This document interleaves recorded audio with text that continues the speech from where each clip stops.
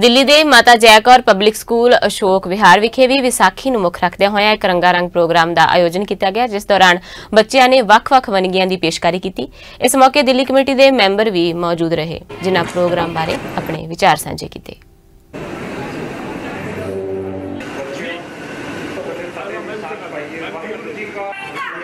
ਸਰੋਵਰ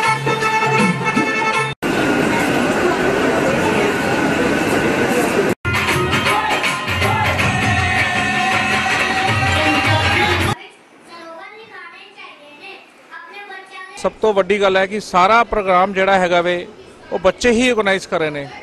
stage programme ਦਾ event ਸਾਰਾ ਕੁਝ ਬੱਚਿਆਂ ਦੇ ਹੱਥ 'ਚ ਹੈਗਾ ਵੇ।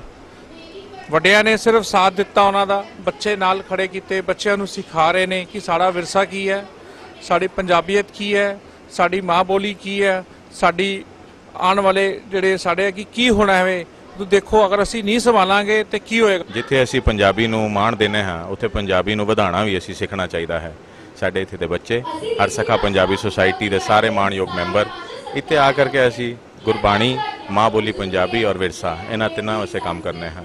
ਹਰ ਸਖਾ ਪੰਜਾਬੀ ਸੁਸਾਇਟੀ ਵੱਲੋਂ ਆਈਆਂ ਸਾਰੀਆਂ ਸੰਗਤਾਂ ਦਾ ਬਹੁਤ ਬਹੁਤ ਧੰਨਵਾਦ ਕਰਨੇ ਹਾਂ ਕਿ ਔਰ ਜੁੜ ਕਰਕੇ ਪੰਜਾਬੀਅਤ ਨੂੰ ਵਧਾਉਣ ਦਾ ਕੰਮ ਕਰਦੇ ਹਨ।